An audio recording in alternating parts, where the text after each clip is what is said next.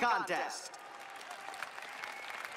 Uh, that satin jacket is mine.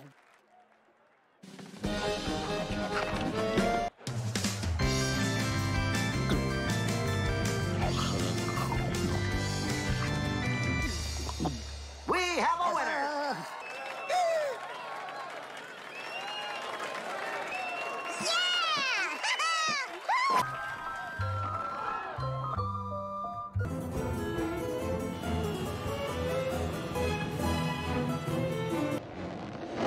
It's Mr. Wiener.